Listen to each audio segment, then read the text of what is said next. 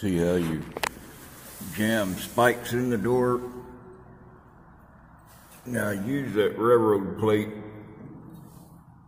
to hammer it. I got a brick. You just take a couple of railroad spikes and bash in that door track. To see that door ain't open but about 18 inches, if that. That's how I like them. But we're stopped outside Lewiston, Maine right now. We stopped outside uh, Portland about 25 miles for about six hours in the siding.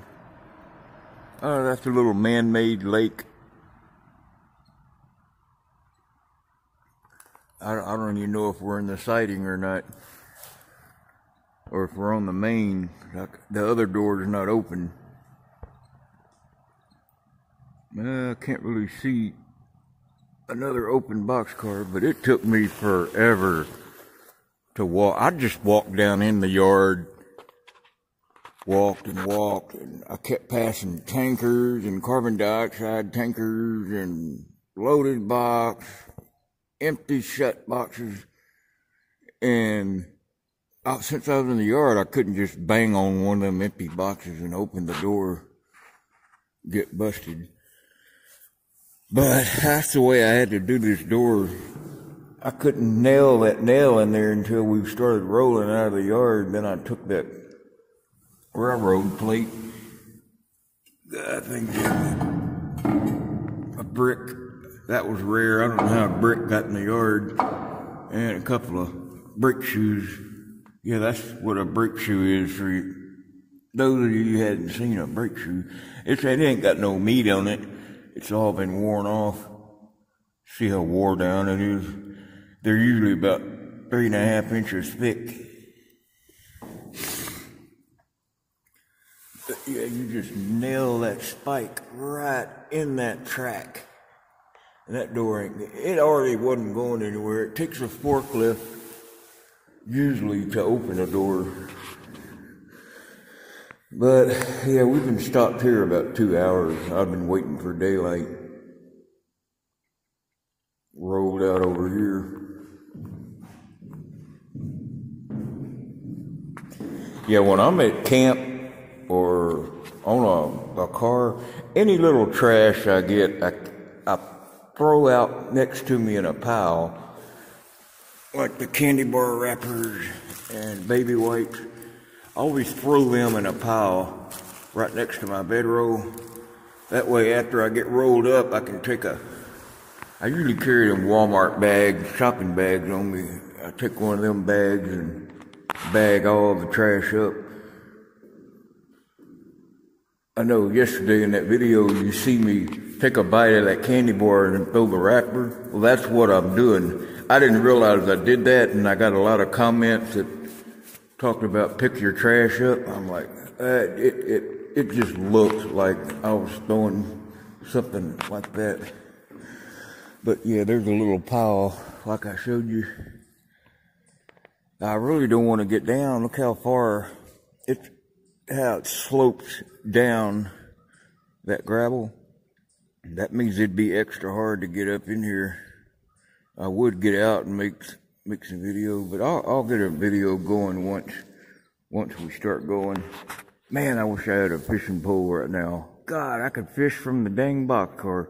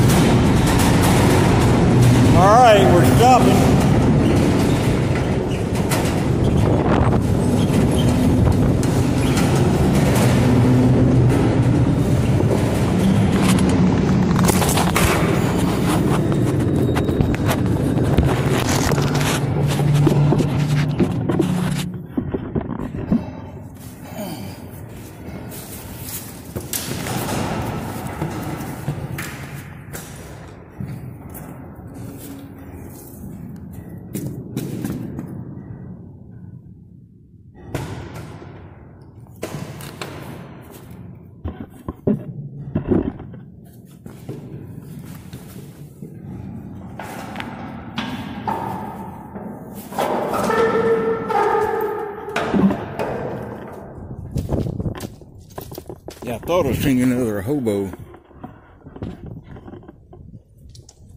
Yeah. Oh, I really like them open. You hear it a lot better. You sleep later because it's dark.